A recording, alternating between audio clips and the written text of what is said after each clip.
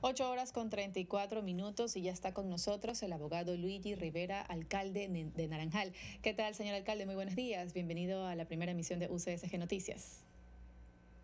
¿Qué tal? Muy buenos días. Un saludo fraterno a la Perla del Pacífico y a toda mi gente de la provincia.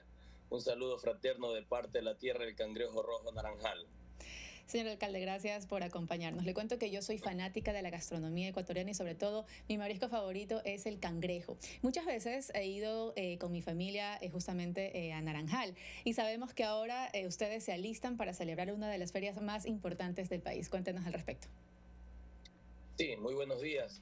personalmente aún me encuentro acá en la ciudad de Guayaquil, estoy haciendo varias entrevistas, ruedas de prensa y ayer estuvimos en el Unipar invitando a, todo, a toda la perla del Pacífico. Efectivamente, eh, Naranjal, después de tres años de paralización, obviamente producto de la pandemia, eh, vamos a retomar una de las ferias más importantes eh, gastronómicas del país, como es la Feria del Cangrejo Rojo. Y este año tiene una particularidad porque este año va con todo después de tres años de para. Es así que en esta feria que la vamos a realizar este domingo, este domingo 7 de agosto desde las 7 de la mañana. Eh, también vamos a hacer una apertura en la feria, algo que no se había hecho anteriormente.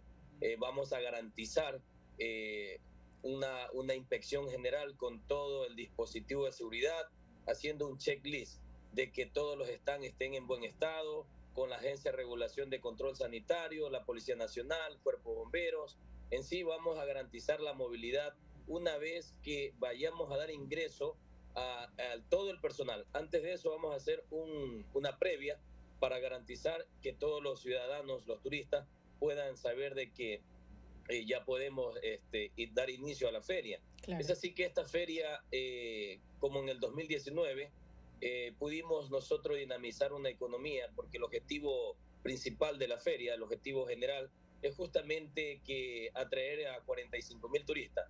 Y el objetivo específico es que dinamicemos una economía igual a 1.200.000 dólares como fue en el año 2019. Porque en esta feria que va con todo, ganamos todos. El que vende el agua, el que, el que está haciendo el parqueo, el que vende en este caso pues eh, colateralmente a la feria, lateralmente pues otros productos. Así que esta feria va también a tener algo muy importante, mi estimada vamos a tener un manglar viviente, eh, algo que va a hacer la diferencia. Claro. Sabemos pues también que aquí se va a reactivar la economía de Naranjal, ¿no? Sabemos eh, que van a haber una variedad eh, de, platos de cangrejo. ¿Nos puede contar un poquito al respecto? ¿Y quiénes van a ser las personas, los restaurantes que van a participar? ¿Son restaurantes de la zona o también puede ir gente de afuera a participar en, este, en esta feria gastronómica? Sí, mira, atraer a 45 mil turistas con 35 están prácticamente es poco.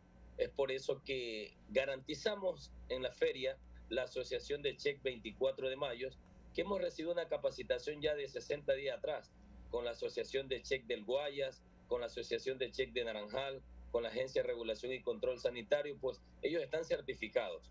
Eh, igual los otros turistas pueden visitar eh, los sitios alidaños, como la Hueca del Cangrejo, eh, Santana Oil y muchos lugares muy, muy importantes del cantón, que son obviamente quienes también garantizan un buen, un buen producto. Así que eh, en este sentido eh, van a haber más de 30 variedades de exquisiteces a base de cangrejo rojo.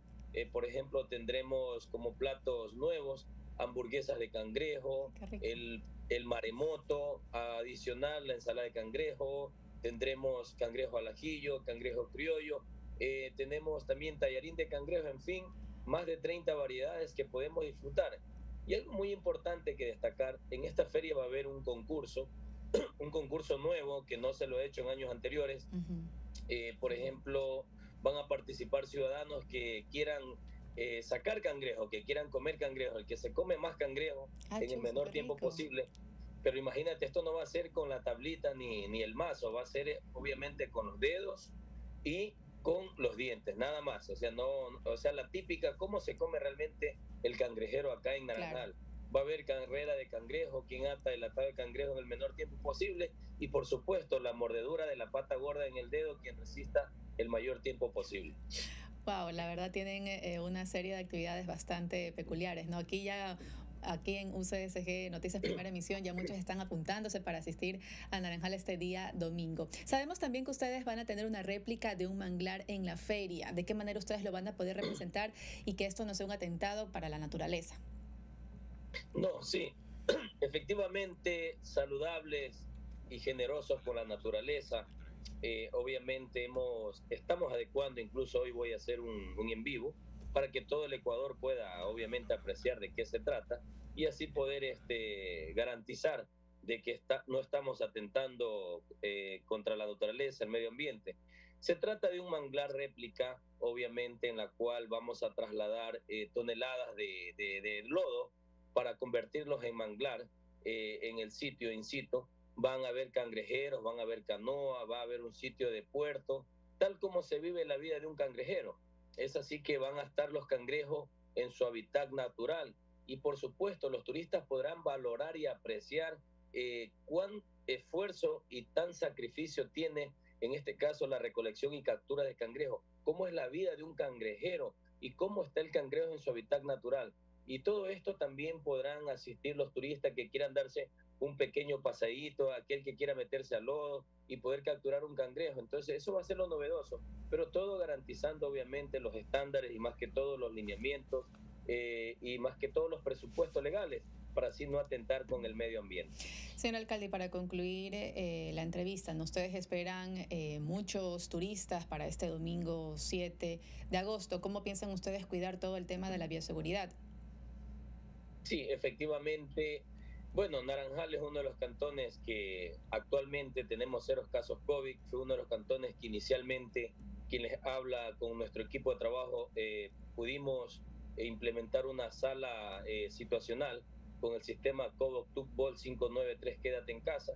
Es así que apenas Naranjal tuvo 33 muertos en la época más dura y seguimos fumigando, seguimos abatizando, garantizando obviamente para que la ciudadanía eh, se mantenga en buen estado de salud y vamos a tener también vamos a tener también un equipo de primeros auxilios, enfermeros, ambulancias, todo lo que significa un dispositivo de seguridad y de bioseguridad para el cantón. Y lo más importante, que el día de hoy ya estoy viajando a Naranjal, ya mismo al mediodía, tenemos la última reunión de seguridad ciudadana acerca del dispositivo que vamos a implementar con Fuerzas Armadas, Policía Nacional y Cuerpo Bombero. Así que invitamos a todo el país, la feria está totalmente garantizada. Nuestro único objetivo es obviamente dinamizar la economía, contribuir a nuestra provincia y al desarrollo del país. Perfecto, domingo 7 de agosto en Naranjal se va a realizar el Festival del Cangrejo Rojo. Muchísimas gracias por acompañarnos el día de hoy, señor alcalde. Muchas gracias a ustedes, un saludo fraterno, así que los esperamos, no se olviden, este domingo 7 de agosto, desde las 7 de la mañana hasta las 7 de la noche, va a haber un gran concierto durante todo el día también, así que habrá grandes sorpresas. Buenos días a todos, muchas gracias. Muchísimas gracias. Estuvimos con el abogado Luigi Rivera, alcalde de Naranjal. Con esto hacemos una breve pausa, 8 horas 42 minutos, ya volvemos.